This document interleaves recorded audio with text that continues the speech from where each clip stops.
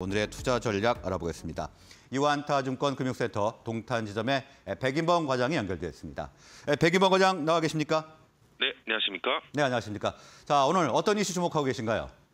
네, 뭐 아무래도 최근 이런 시장 급락 나오면서 좀 부득이하게 주가 조정을 좀 덩달아 맞은 상황이지만 상대적으로 주가가 견조한 측면을 보여주고 있는 우주항공 또 방위 산업 관련주에 대한 저가 매수 관점에 어, 따른 이슈 좀 주목해 보시면 좋을 것 같습니다. 우선 뭐 그간 강세를 좀 보였었고 하지만 이제 조정 이후에 다시금 좀 반등을 보일 수 있다라는 점에서 좀 관심 있게 지켜보시면 좋을 것 같은데 뭐 아무래도 불안정한 시장 상황 속에서는 이 산업 확장에 대한 대한 기대감이 좀 유효하다라는 점에 좀 주목을 해보시면 좋을 것 같습니다.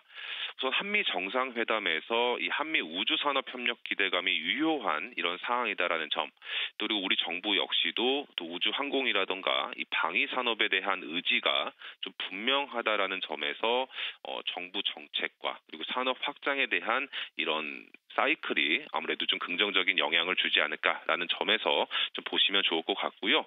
우선 하루 연기되긴 했지만 내일로 예정된 이 누리호 2차 발사에 대한 기대감도 아직은 잔존해 있다라는 점에서 발사 성공 여부를 좀 뒤로 보더라도 이제 발사를 하루 앞둔 상황에서는 어, 최소한 daily trading은 좀 가능할 수 있지 않을까라는 점에서 좀 주목도 해보시면 좋을 것 같습니다.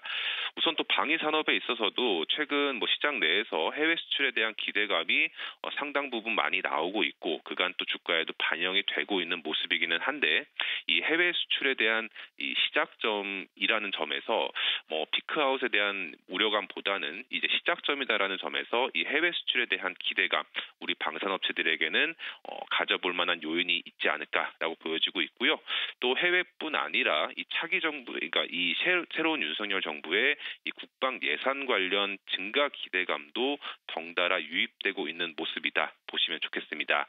뭐 계속적으로 뭐 그 해외 수주 관련한 기대감 계속적으로 잔존해 있는 모습이고 그런 모습 속에서 방산 쪽은 하반기 모멘텀이 아직은 탄탄하다라는 점, 또 우주 항공 쪽 역시도 내일 이벤트 외에도 이 달 탐사선 다누리가 오는 8월에 미국 에서 발사될 것으로 전해지고 있다라는 점도 누리호 발사 등과 더불어서 하반기 우주 항공 쪽으로의 모멘텀을 유지시킬 수 있는 모양새다라고 보시면 좋을 것 같고요.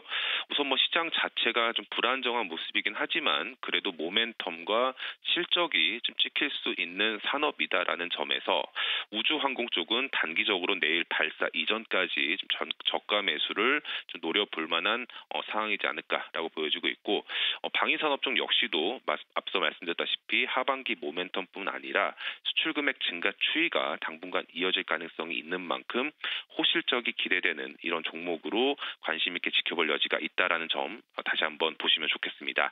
뭐 관련주 내에선 한국항공우주, 또 LIG 넥스원, 한화 에어로스페이스, 한화 시스템 등을 좀 중심으로 관심 기울여 보자는 의견 드리겠습니다. 네, 우주항공과 방위산업 관련주 말씀을 해주셨는데요. 자, 그러면 관련해서 어떤 종목 주목하면 좀 좋을까요? 네, 우선 방산 대표주들 중에서 한화 에어로스페이스 먼저 보시면 좋을 것 같습니다. 뭐 이벤트와 더불어서 하반기 호실적이 기대가 될 것이다라는 이 전망에 좀 어, 상대적인 강세를 보여주고 있다라는 점에서 좀 관심 포인트 좀 두시면 좋을 것 같고요. 또 기존 수주 잔고 등과 더불어서 이 항공 우주 부분 등의 이런 확대가 실적으로 반영될 것이다라는 예측이 계속 유효하다라는 점 보시면 좋겠습니다. 뭐 큰 틀에서는 방산 부분에 해외 수출 증가 기대감 또 그리고 항공 우주 관련 기대감 유입되고 있다 보시면 좋을 것 같고 어, 동사 같은 경우에는 이 하반기에 호주 레드백 장갑차에 대한 수출 기대감이 높은 상황이다라는 점, 또 그리고 사우디 관련한 기대감도 여전히 유효하다라는 점에서 방산 부분의 모멘텀을 삼아 보시면 좋을 것 같고요. 또 그리고 우주 산업 관련해서도 내일로 예정된 이 누리호 2차 발사에 대한 기대감이 다시 한번 유입될 수 있다라는 점에서 이번 누리호 관련해서 핵심적인 역할을 수행한 하나 에어로스페이스에 대한 어, 관심 다시 한번 이어질 여지가 있다라는 점 보시면 좋겠습니다. 또 그리고 달 탐사선 관련 모멘텀 등도 내일 이벤트뿐 아니라 8월까지 이런 관련 기대감이 지속될 여지도 있다라는 점은 모멘텀으로 삼아 보시면 좋을 것 같고요. 뭐 한화그룹의 이 방산과 이 우주 산업 관련 컨트롤 타워 역할을 하는 기업이다라는 인식을 가지시고 어, 최근 주가 조정 이후에 반등 기대감이 유효할 수 있다라는 점과 더불어 관심을 가져보자는 의견 드리겠습니다. 그래도 두 번째 종목은 LIG 넥스원인데요. 마찬가지로 국내 대표 상장 방산 업체로 꼽혀지고 있는 모습입니다.